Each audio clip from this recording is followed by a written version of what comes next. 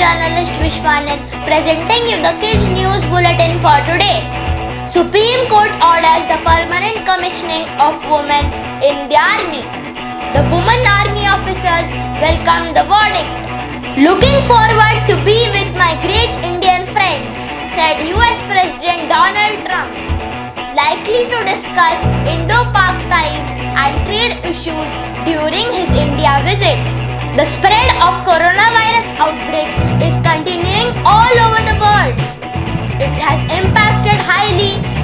global health and global economy. The world celebrated the International Mother Language Day on 21st of February. As per the UNESCO report, one language is disappearing from the world every two weeks.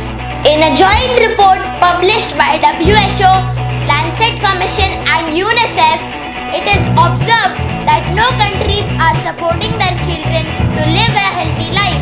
The rule law is the most fundamental feature of modern constitutions of the world, said Chief Justice of India Sharad Bobde. Larry Tesler, the computer genius that invented cut, copy and paste, has died at the age of 74. TV1 India Live pays homage to the great inventor. On 22nd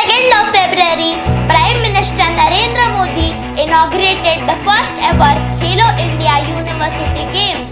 As per a survey conducted by ICMR, the citizens of Delhi consume the largest amount of fat in the country.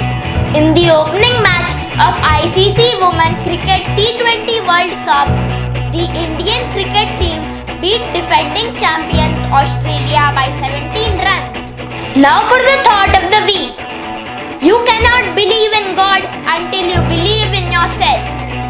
This inspiring thought was quoted by Swami Vivekananda. We are introducing a new segment called the Quiz of the Week.